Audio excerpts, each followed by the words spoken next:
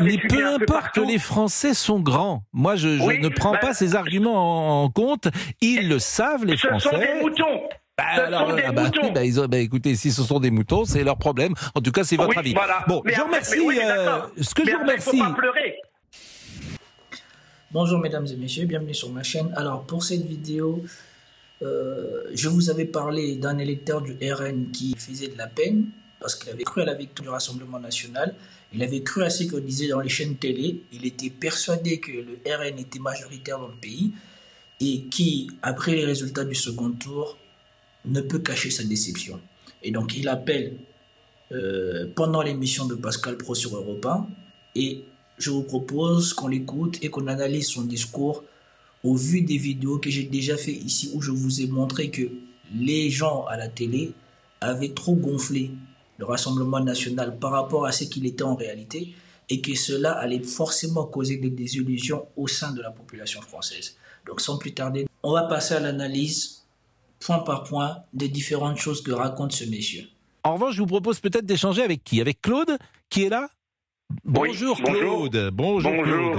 Et vous allez pouvoir échanger avec euh, Madame Ridel, euh, qui va, euh, qui souhaite appliquer un programme très à gauche, et c'est bien son droit après tout. Moi je, je veux dire, euh, moi je vous dis qui je suis, donc je suis Claude, je suis Rassemblement National. Je veux dire, euh, ils appliquent ce qu'ils veulent, mais ils ne sont pas crédibles. Il y a quelques mois, ils se crachaient dessus, ils s'insultaient, ben, voilà, ceci, cela. Ils ont insulté Monsieur Glucksmann. Et maintenant, voilà, ils sont, ils sont maintenant les meilleurs amis du monde. Ils vont appliquer des, des programmes et, ci et ça. Moi, je voudrais juste faire une petite euh, parenthèse. Je voudrais, je voudrais avoir une pensée pour la communauté juive, nos frères juifs, qu'est-ce qu'ils doivent penser ce matin en se levant, en voyant ce qui s'est passé hier soir? Je suis. Voilà. vous, avez un, vous avez un électeur du RN et sur d'autres chaînes, vous avez pu voir les réactions des gens du RN quand ils ont cru qu'ils allaient, allaient passer au pouvoir. Vous avez vu les racistes de France se décomplexer et tous ces élect, tout cet électorat du Rassemblement national à cause de ce qui était véhiculé à la télé, à cause de ce qui continue à être véhiculé à la télé, parce que il y a deux jours, Pascal Pro était encore en train de dire que le Rassemblement national avait fait 36% de la population française. Si quand on n'a pas bien montré la situation dans sa réalité, peut faire croire à un membre du Rassemblement national que son parti et les idées de son parti sont adoptées par entre 3 et 4 Français sur 10. Or, je vous ai déjà montré ici, le Rassemblement national, c'est moins de 10 millions d'électeurs, ce qui fait moins de 20% des gens inscrits sur les listes électorales, ce qui fait un Français sur cinq. Ils sont loin d'être majoritaires dans le pays.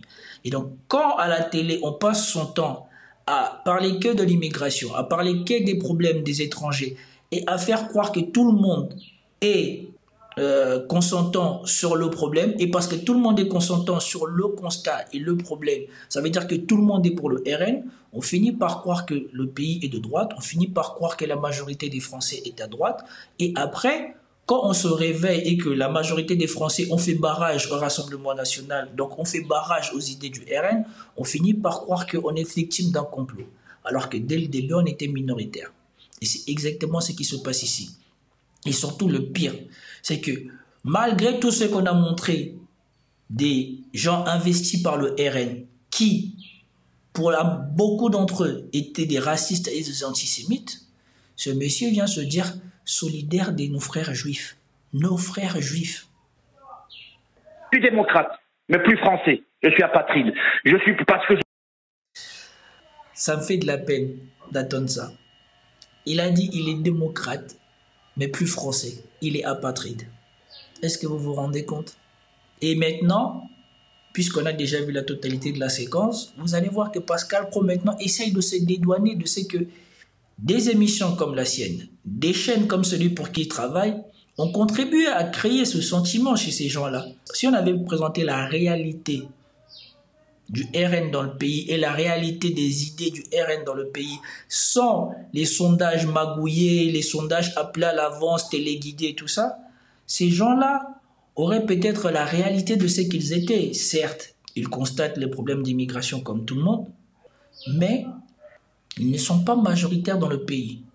Je ne reconnais plus mon pays. J'estime que Euh, le matraquage pendant 15 jours que l'on a reçu, c'est une honte. Madame Ridel, je ne veux pas être insultant vis-à-vis de vous. Madame, je vous respecte pour ce que vous êtes en tant que femme et en tant qu'être humain. Mais j'espère que vous n'êtes pas la cuisinière du Parti socialiste parce que la soupe doit être bonne. Parce que critiquer M. Mélenchon et faire avoir le comportement qu'il a eu hier soir et maintenant de lui serrer la main, bravo. Mais les plus grands responsables. Ouais, là, il perd complètement pied, ce monsieur. Le matraquage qu'on a eu pendant 15 jours, depuis les élections européennes, jusqu'à quasiment les cinq derniers jours, les médias ont voulu faire croire à la télé que le Rassemblement national, 1, était un parti qui avait changé, 2, était le parti majoritaire en France, 3, que leurs idées étaient majoritaires en France, 4, ils les ont mobilisés en force pour le premier tour pour faire croire que c'était la vague Rassemblement national. Et donc, les chaînes d'infos continues ont torturé pendant la campagne européenne et la campagne du premier tour tous les autres opposants de se justifier par rapport à leur candidat Raphaël Arnaud dont j'ai fait la vidéo qui est apparue et que je ferai euh, son passage sur BFM TV après. On a monté son histoire à lui pour faire croire que euh, la gauche investissait des, des gens antisémites, des fichiers S. Et après, les cinq derniers jours, Marine Le Pen s'est écroulée en montrant qu'elle comprenait rien aux institutions avec son idée de coup d'État administratif. Jordan Bardella s'est écroulé quand on lui a demandé c'était quoi son travail et pouvait-il comprendre que les Français soient sceptiques à l'idée qu'avec son inexpérience il arrive à Matignon et qu'il a voulu balancer Attal ou qu'il a balancé Attal comme j'ai fait en vidéo aussi. Et donc, où a-t-il vu un matraquage anti-RN ici? En France on va me dire oui, les chaînes de gauche, mais j'aimerais bien que vous me montrez les chaînes de gauche qui font de l'info continue en France.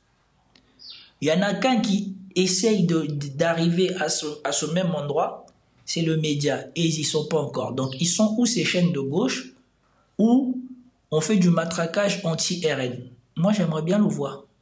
Les plus grands responsables qui devront être jugés devant l'histoire, c'est M. Attal et le président de la République. C'est honteux ce qu'ils nous ont fait. Et, Claude, euh, je me permets de ne pas être d'accord avec vous parce que c'est les Français qui votent. Donc euh, moi j'écarte. Ah, non, non, mais je suis pas d'accord avec vous. Bah, c'est les Français qui, ont voté hier. Donc ils ont voté en connaissance de cause. Les Français, ce sont pas des enfants. tous les débats ont eu lieu la semaine dernière. Ils ne veulent pas du Rassemblement national euh, à Matignon et à l'Élysée. Ils veulent mmh. peut-être pas d'autres partis, mais il y a comment dire la magouille. Pourquoi pas des partis de ça, il n'empêche, quoi. D'ailleurs, je dirais pas la magouille. L'entente des partis de certains, je ne la conteste pas. Ça fait partie de la démocratie et c'est les Français qui votent. C'est les Français qui votent. Monsieur Pro, Monsieur Pro. Ici, Pascal Pro constate le désespoir qu'ils ont créé chez les Français. Et ici, il se lave le main de ce qu'il a contribué à créer. Il dit les Français ont choisi et on doit l'accepter. Et surtout, il connaît les jeux des institutions. Ce qui s'est passé là, là ce n'est pas la première fois. Premièrement, dans toute l'Europe, aujourd'hui, on ne, on ne gouverne plus que par coalition, par des attentes. Deuxièmement, ici, il n'y a pas eu attente entre des gens qui seraient d'un autre bord. Il y a eu attente entre des gens du même bord, de la gauche. Que l'on part de l'extrême gauche ou à la gauche modérée, le mot commun, c'est la gauche. Quand on a envisagé la même chose de la part de LR et de la part de euh, Rassemblement national, ça posait problème à personne. Maintenant qu'ils essayent maintenant de nous faire croire que le pays a basculé à droite et d'avoir une coalition des, des, gens de droite, on ne dit pas que c'est une alliance contre nature. Mais quand c'est à gauche, par contre, c'est une alliance contre nature.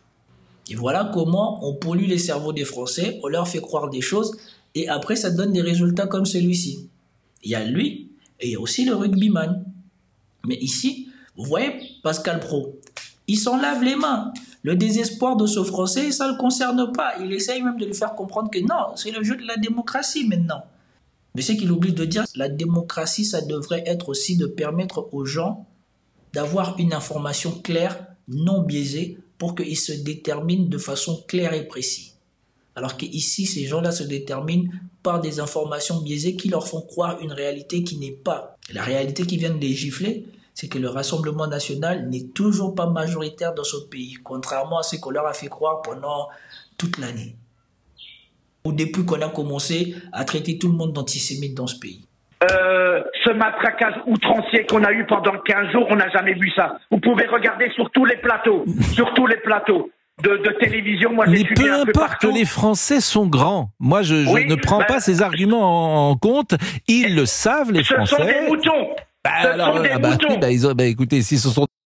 Donc, quelqu'un qui a cru que le Rassemblement national était majoritaire et que les idées du Rassemblement national étaient majoritaires dans le pays, se sont légitimes à traiter les autres Français qui ne sont pas pour le Rassemblement national ou n'adhèrent pas aux idées du Rassemblement national ou qui ont vu ce qu'était le Rassemblement national, de, comment ce, parti s'est elle-même écroulé entre les deux tours euh, des législatives, il se permet de traiter les autres Français de moutons. Va savoir. Et c'est comme ça qu'on crée des Français radicalisés qui croient qu'on les a volés quelque chose. Et maintenant, vous voyez, Pascal Pro, c'est plus son problème. Et surtout, des gens comme ça, c'est pas son problème. Il n'est pas d'accord avec eux, il ne veut pas être d'accord avec eux. Il leur impose même de comprendre que ce, le jeu des institutions, c'est le jeu de la démocratie, ça. Il amplifie son déception des moutons, c'est leur problème. En tout cas, c'est votre avis. Bon, je remercie. Euh, ce que je remercie. Après, faut pas pleurer. Ah, après, il faut pas pleurer. peut-être pas pleurer. Bon, en tout cas, c'est encore autre chose.